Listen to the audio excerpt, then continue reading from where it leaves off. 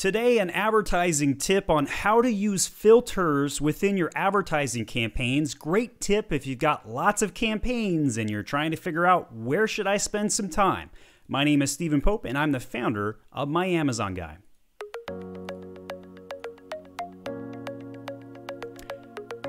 This podcast is sponsored by Alpha Raven House. If you want to triple your daily sales by ranking your product to the top of page one, at 10% of the usual costs and getting verified reviews along the way, they're your solution. Check them out at alpharavenhouse.com.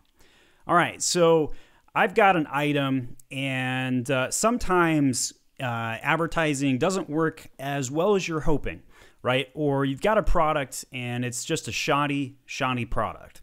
This is one of those products, and it's the OK Boomer wine glass that I um, that I sell. Um, so I, I, sell these wine glasses as a side hustle, mostly to test things for my clients. And uh, I have this one on flash fire sale, if you will, at five bucks. Still can't move it. It's got a problem, right? So I've been looking at advertising and trying to figure out, okay, what could I do to get rid of this thing? Because I don't, I don't just want to destroy uh, the investment. This happens to everybody. You always have a dog product, something like that, and and so. Uh, I, I've got a quick advertising tip for you. This is going to work no matter what kind of products you're dealing with. So if you go into your advertising campaigns and you search anything you want, right? So I, have put up Boomer on the list here, right? And this is a, a silly, stupid meme joke wine glass kind of thing. And and so I've, I've got one filter set.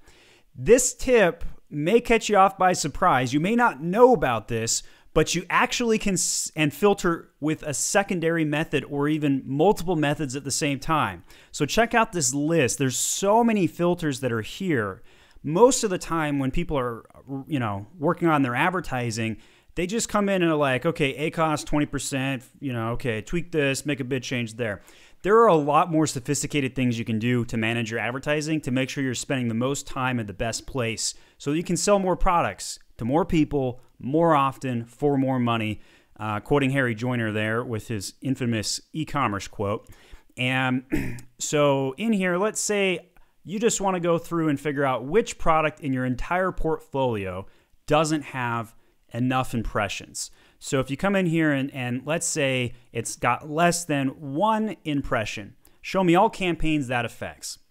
Well, uh, and then you could use a secondary filter to say, hey, you know, instead of uh, you know, a specific product, which I have here, you could do all kinds of different filters. You could say, okay, and I want to see something that doesn't have impressions, but also um, has previously had some spend or, uh, you know, hasn't had any orders. You could do anything you want, right? And what's really cool about this is that it will allow you to go through, let's say you got like 100 campaigns on your account. You're a sophisticated advertiser, you got lots of data to look at. Well, this drop down of filters is really, really helpful because not only can you uh, use a single filter, like go through and see, give me every campaign that's got less than one impression, because those are campaigns you definitely need to review. There's a problem with them. It could be that the uh, the ad is banned. Maybe you've lost the buy box. Maybe uh, maybe the keywords aren't relevant. Maybe the targeting is off. Maybe you set up an FBA and a merchant fulfilled SKU, but you only set the ads up for the merchant fulfilled SKU, but your FBA is the one that's in stock. Or vice versa. You get the idea, right? So there's a lot of things that these filters can help you catch, and it can help you figure out where your dollars are not being spent, where they should be being spent, but they're not being spent. So I highly recommend looking at filters like that. Um, on the inverse, you could also look at um, you know where your CTRs are low, right? So a click through rate that is less than uh, you know let's say uh, 0.40 percent and apply, right? So in this particular instance, I don't have anything with less than 0.4 CTR on less than one impression, but you could play with these filters to find uh, a combination that makes a lot of sense and it'll allow you to make the advertising changes to your campaigns in a quick manner by finding um, problem childs, right? So uh, instead of just managing ads to ACOS, you should be doing some more sophisticated work. We do this at My Amazon Guy on a daily basis, and we're looking for uh, ads or or products that aren't performing as well as they need to. And then let's say that we see one that has a low conversion rate. Like there's a filter for conversion rate as well. And and and then we go over to uh, our catalog team and say, hey, our our conversion rate is really bad. And we think the targeting is right, so it's probably the product page. So what's wrong with the product page? Do we need to change our our title? Is that the problem? Do we need different imagery? Do we have enough imagery? Uh, have you gone through and done your evaluation checklist to see um, all of the things that could come out? This is a Helium 10 Chrome extension that shows this. Not not really that important of a tool for this particular uh, thing I'm showing, but it does give you kind of a, a good five second check. Does it have enough images? Is are the images high enough dimensions? Does the title have a long enough character count? Uh, and they think 150 characters should be the max.